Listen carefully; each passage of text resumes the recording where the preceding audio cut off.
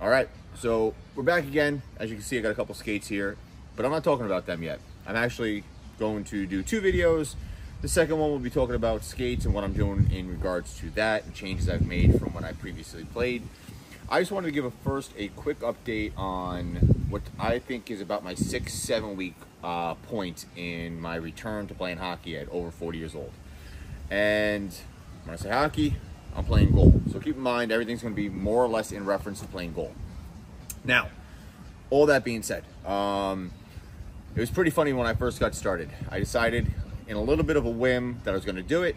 I went out and purchased a stick because it's one of the things I needed the most. And I told a few people, hey, if you need a goalie, looking to get back on the ice, nothing too serious, not too high level, just want to get moving again. And not even exaggeration, 10 minutes later, one of those guys said, hey, got a game tomorrow night? And yes, I played it. Now, I will tell you, I actually played pretty well in that game through two periods. Third period of that game, the wheels fell off. Um, but still felt good. Felt happy about doing it. Um, it was definitely a challenge, and it kind of got the motion going for me to keep going at it. Um, later that week, that following Thursday, I skated again. Now, this that skate, which is the primary skate I've done since I've returned, is a three on three on a shorter rink um, we were on the ice for about an hour and a half, hour 40. And I will say that beat you up. Um, I did play another regular men's league three 15 minute period game uh, a few weeks after that. But ultimately, that kind of was, I'd say, easy. Played very well in that game. Very happy how I played in that game. But nevertheless, as a whole, I don't know exactly how many times I've been on the ice since I got back into it. But over the seven weeks, there's only been one week so far where I didn't skate at all. A couple of weeks where I skated twice. And then this week coming up will be another week where I'm actually not going to be on the ice. But that's okay because I just skated twice this past week. And I'm actually doing a 40 mile bike ride here in New York for the Five Boro Bike Tour uh, tomorrow, actually. So, nevertheless, um, just want to kind of give an update on that and what I've noticed in regards to making this a little bit of a comeback. Um, not that I need to know it, but or didn't know it. Being in shape, meaning in the gym, is nowhere near the same as goaltending, hockey, or even athleticism. So that has been an eye-opening wake-up call. Um, that has also given me some motivation to what I'm doing in the gym. But ultimately, I will say it is also reassuring because I've done a lot of hard work keep myself in what I would call good physical shape through my late 30s into now 40 years old and it shows it shows in being able to get on the ice and yes i do feel beat up the day after even a couple days after sometimes but that window of soreness is decreasing. The ability to still do a lot of things, not at a high level, but eh, the ability to do them in the first place is actually still kind of rewarding. And to know that what I've been doing away from the ice over the last number of years plays a large part into that.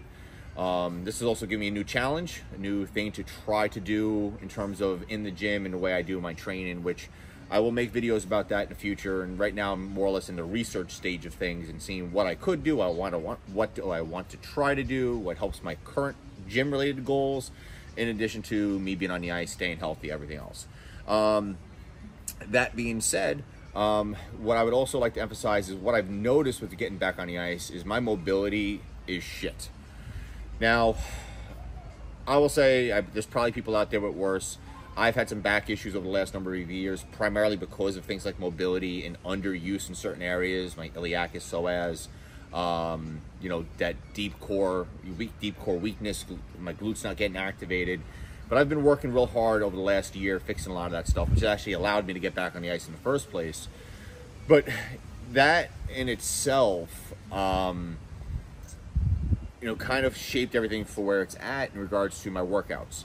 Now, again, that being said, when I skated, when I played, when I played a lot, you know, into my teens, in through my 20s, even into my early 30s, playing was my mobility work. Now, that is not the right approach. You know, I'm a little bit smarter than I once was, but I was flexible because I was on the ice an hour and a half, two hours, even some days even more, uh, three to six days a week, pretty religiously for a long period of time. And that kept me loose. Um, I was able to do a split. I was able to do a lot of things without having to go and try to do those things, just somewhat naturally. But a lot of that went away um, not long after I stopped skating and my body kind of got stiffened up on me. And then I switched over to more of a bodybuilding, strength, performance aspect in the gym versus anything to do with conditioning or mobility work.